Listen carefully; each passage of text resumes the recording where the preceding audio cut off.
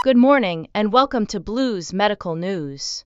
Today we bring you a pressing issue that is affecting countless patients and families across our community the alarming overcrowding in local hospitals, resulting in long wait times and inadequate service.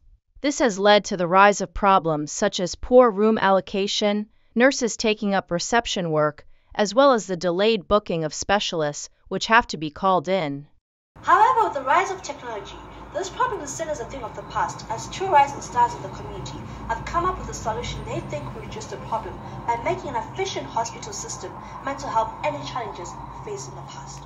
Allow me to introduce MedMate Zimbabwe, a mobile application for system assessment and patient triad, which assesses patients in order to, to determine the urgency of their need for treatment. And the nature of treatment can reduce admission delays and improve patient outcomes in hospitals. Also covers pre-booking, ambulance services, and compares hospitals to figure out which hospital will be best for the patient to go to in terms of resources and and availability of specialist doctors. We'll be discussing the functionality of MedMate ZW. So let's get started right away. I will look at the symptom checker to be specific at the moment. The user just the symptom they are feeling. Then after submitting, the symptom checker gives a recommendation according to what they think from the rule-based system we used.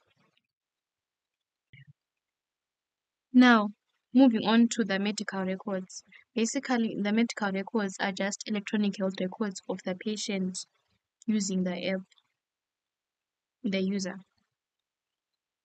Basically, the it shows the health related information of the user and the personal information such as date of birth. And as for the patient ID, the patient ID is the unique identifier of the patient of the patient using this app. All patients using MedMate will be given a unique identifier after creating the account. Thank you.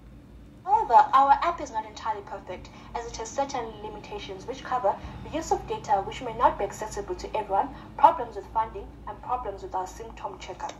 In the long run, we plan to promote our app nationwide and we would like to try and increase the accuracy of the chatbot symptom checker by creating a larger stored database of medical illnesses.